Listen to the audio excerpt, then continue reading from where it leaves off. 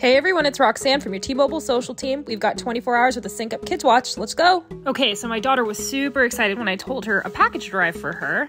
It's her first smart device, so of course she couldn't wait to get her hands on it. Setting up the watch was easy and it had some really cool features. Who should be in her approved contacts, boundary settings, do we need to set up a school mode? My two other kids were with her grandparents, so I got some one on one time with Kennedy and got to take her out for some fun.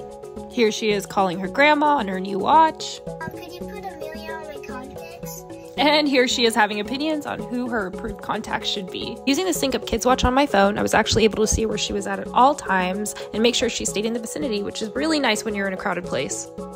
I know we only had 24 hours with the SyncUP Kids Watch, but I might have some trouble taking this away from her.